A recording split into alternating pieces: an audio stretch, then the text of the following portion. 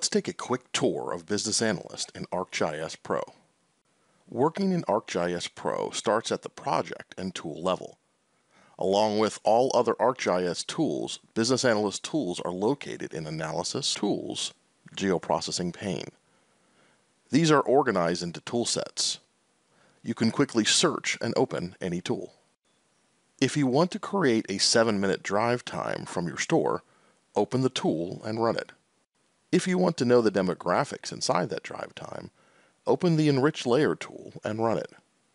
If you want to automate this process against thousands of locations, add the tools to a model and combine that with other ArcGIS Pro tools. The tool's outputs are organized into a project structure.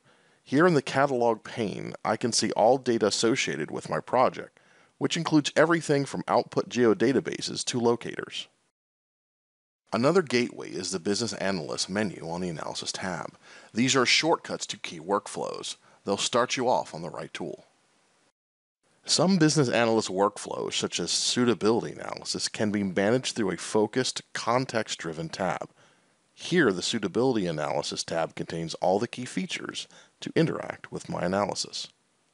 Likewise, for territory design, after building the initial layer, the tab is activated to present several key components for working directly with territories.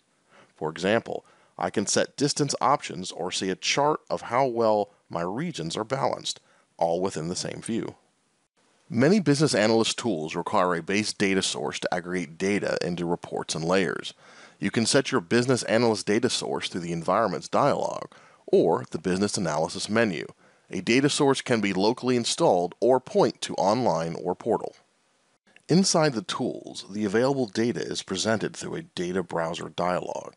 This experience allows you to select demographic variables organized into key categories. Versions of the variables such as count, percent, average, and index can be conveniently selected here. This is also where you can view and add your own custom data into analysis.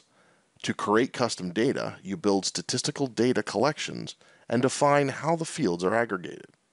You can save these locally or share them to your organization.